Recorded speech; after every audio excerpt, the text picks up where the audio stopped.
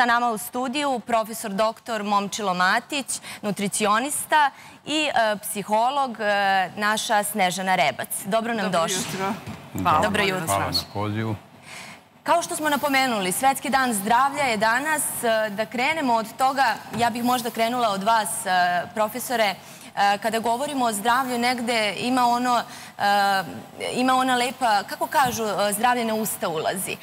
Ka, šta vi to savjetujete za početak dana? Evo, recimo, mi smo jutros došli, ustali rano. E, da li savjetujete, recimo, da dan započnemo kafu? Izvinjam se samo pre toga da kažem, jeste svesti dan zdravlja, ali sve više bolesnih nekako, tako da moramo se boriti da zaista bude zdravlje u pitanju i da što više imamo zdravih osoba da se borimo za to, puno je bolesnih. Mislim, to je onako jedna digresija. Ali u svakom slučaju, dan treba započeti toplom vodom. Znači čašom dve tople vode, koliko možemo. Zašto?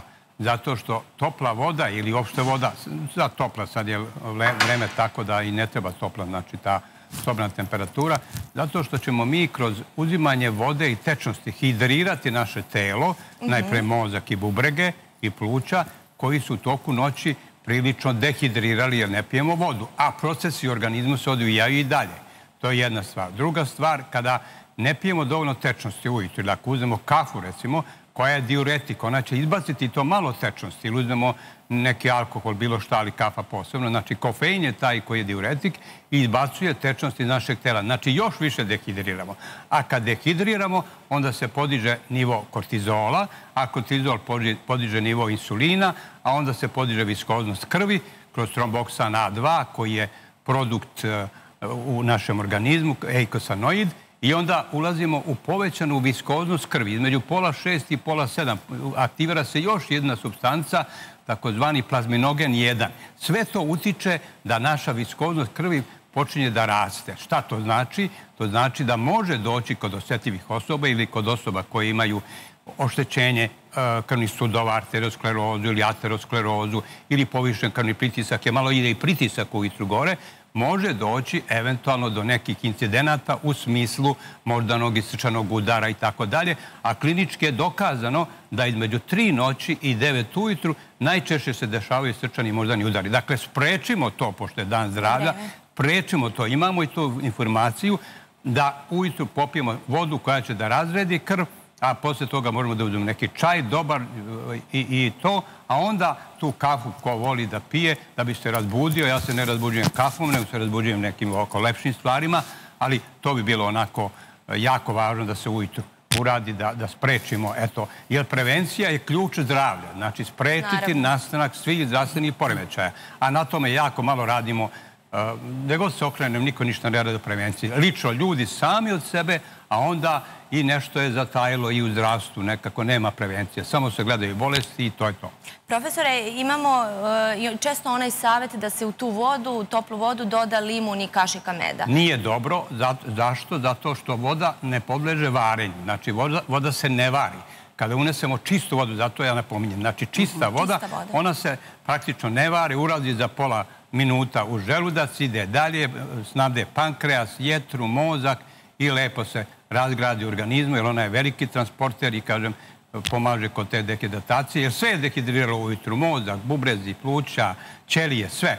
Tako da čista voda. A onda možemo, kažem, neki čaj sa medom, sa propolisom, sa, sa matičnim sokom, recimo od nara, od borovnice, genijalno ujutru, bez šećera, znači matični sokovi, jer oni razređuju krv, oni čiste krvne sudove i tu možemo dodati, kažem, taj limun i još nešto šta želimo.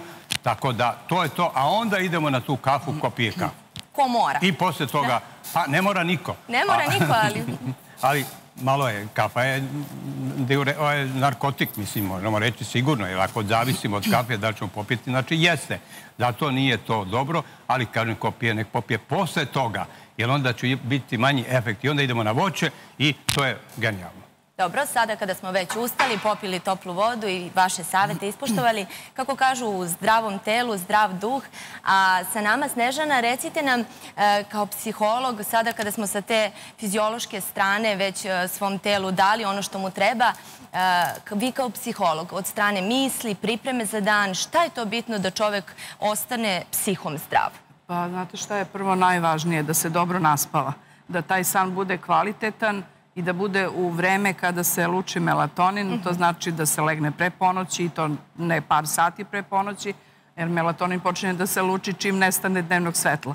Ako ne dnevno, onda čak i veštačko svetlo zaustavlja lučenje melatonina. Mhm. Znači, e, ako, ako recimo dugo gledamo u ekran, ako gledamo mobilni telefon, to opet utiče, opet je to svetlo koje prodire u oko i ne dolazi do, do lučenja melatonina. Znači, kasnije tek e, se, do, verovatno dođe, ne znam sada, do manje količine. U svakom slučaju, melatonin utiče na kvalitet, dubinu našeg sna i na taj oporavak i regeneraciju. E, zatim, kada se dobro naspavamo, onda pravimo plan za dan, znači što se tiče mentalne pripreme, ali mhm. sve ovo što je profesor rekao, znači e, ta neka higijena toaleta organizma, ta voda, to je zaista delotvorno. E, sad neki ljudi mogu da piju kafu. Ne, ja sam htjela nešto da pitam, ali to možda kasnije. Samo izvolite. A što se, vezano za kafu, to, da se nadovežem, pošto je ona diuretik, da li se stvara navika da se ta voda izbacuje putem E, kafe, pa da se posle možda zadržava voda u nekim godinama kasne. Ne, to je proces. Ovaj, proces kofein je sam po sebi diuretik i on izbacuje tečnost, povlači tečnost, kao što imamo neke lekove za diuretične lekove. To isto radi kofein, to isto radi alkohol.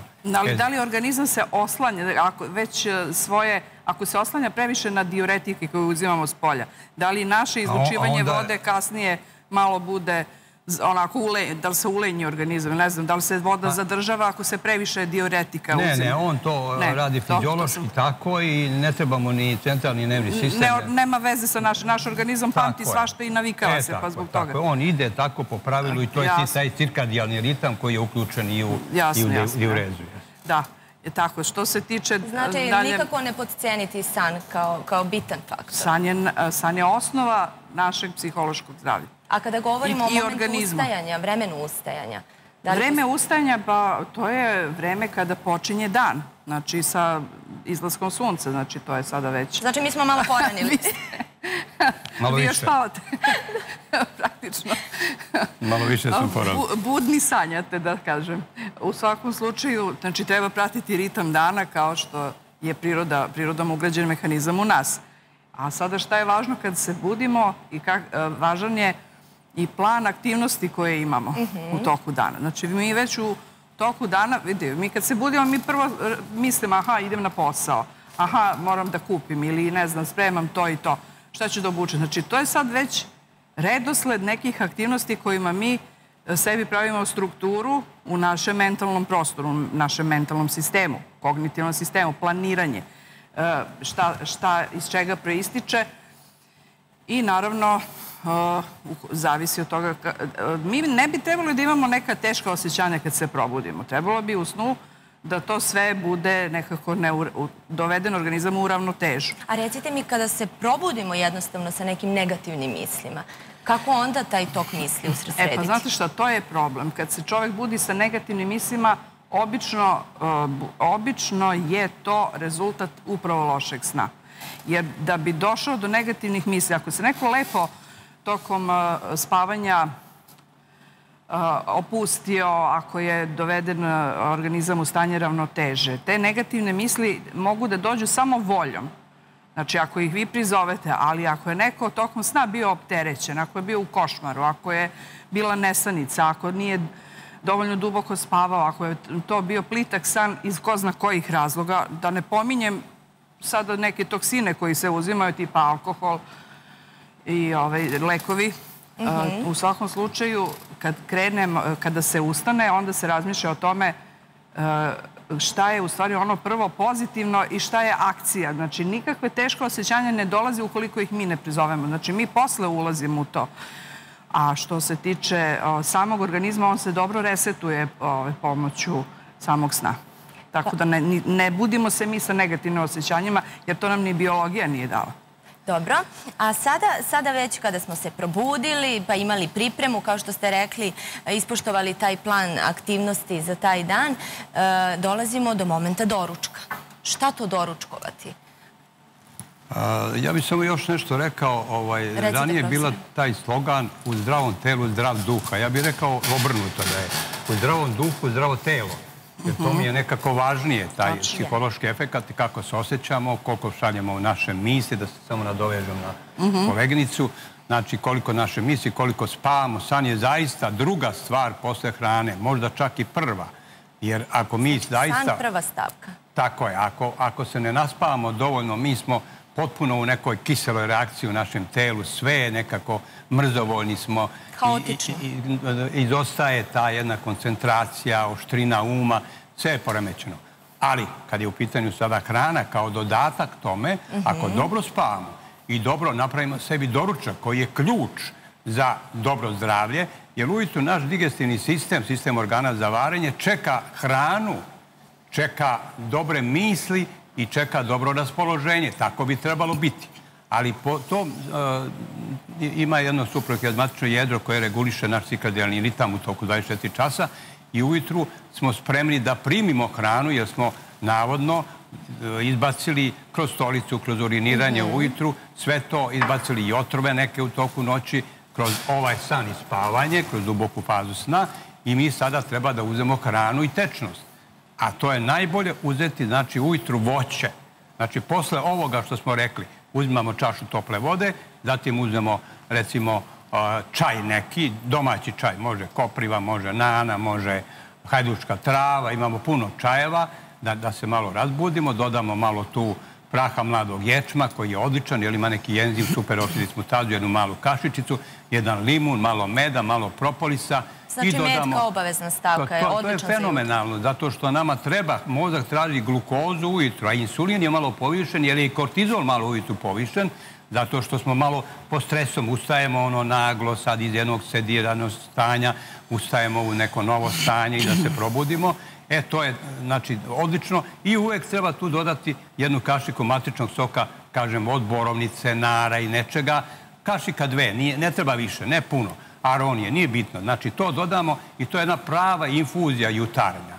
Pa onda idemo na voće koje je genijalno ujutru, zato što ima puno minerala, flavonoida, antocijanina i to bobičasto voće, baš onako mhm. je na, znači, naj, najbolje. Jeste. Jagode. I dodamo malo oraha domaćih, jer imamo omega-3 masne kiseline, imamo kalcijuma, imamo magneziju, imamo mangana, imamo malo joda u orasima i to sve lepo izmešamo i pojedemo tu porciju, malo dodamo cimeta obavezno, jer cimet blokira insulin koji je uveče ujutru malo agresivniji i iz tog razloga mi e, štedimo beta ćelije pankreasa i e, bolje se šećer reguliše, Znači to i dodamo malo praha mladog, ne mladog nego ovoga praha rogača i to sve izmešamo i pojedemo voće koje se brzo stvari, jer je želudac prazan.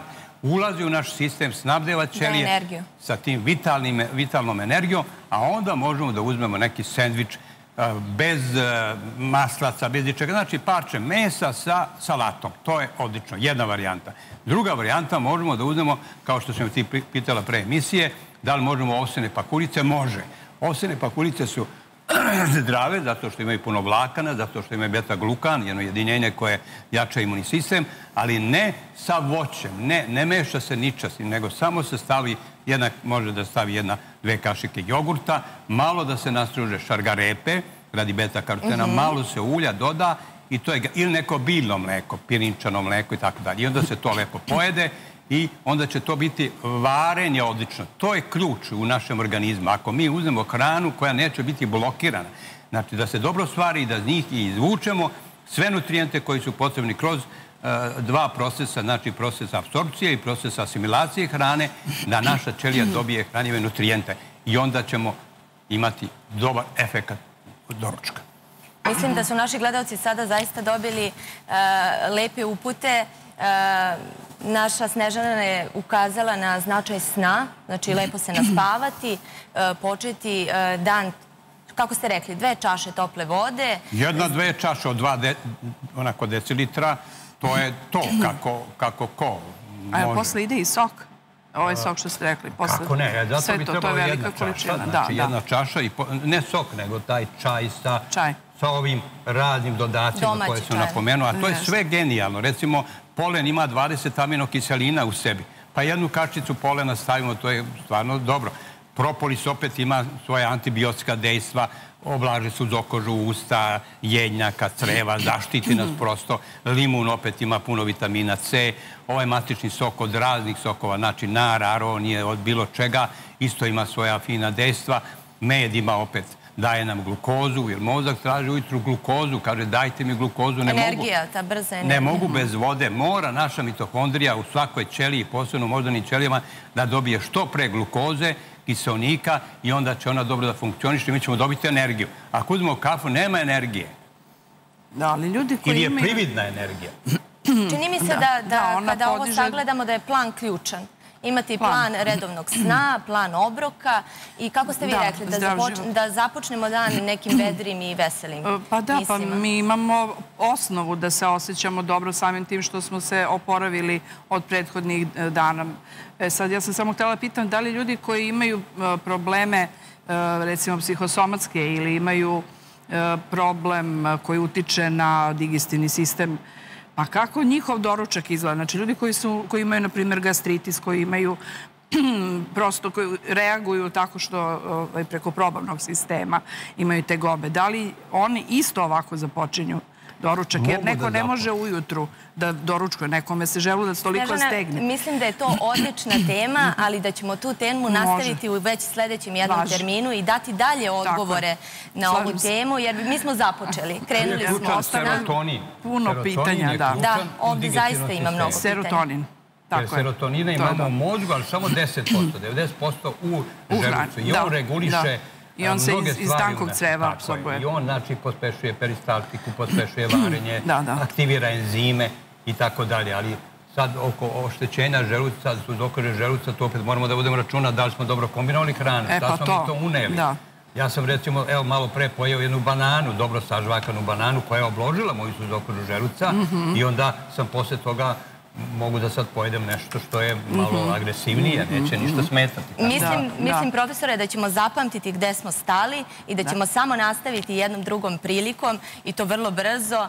E, hvala vam puno što ste bili ovoga jutra naši gosti i e, da započnemo ovaj dan nekim lepim stvarima i lepim mislima. Možda se nismo naspavali, ali mislim da imati takve goste da je već naši gledalci da su imali priliku da lepo započnu I dan. odmah krećemo, izvinjavam se, na onu glavnu stvar koja je u životu e, veoma zapostavljena u zadnje vreme u životima ljudi, a to su ti dobri socijalni odnosi i aktivirati ljubav da stvarno volimo naše najbliže, volimo naše prijatelje i volimo sebe u prvom redu. To će se Tako je, složiti moja tako je. njena koleginica. Apsolutno. Znači, Da. volimo sebe prvo Volimo kakvi sebe god i da volimo smo. druge. A onda ćemo voleti i Saru, i koleginicu, i sve dedom. Glavna ishrana, Tako glavni divna poruka. hrane, duha, ljubav. Jeste, Tako je. Hvala vam još jednom što ste bili Hvala naši vam. gosti.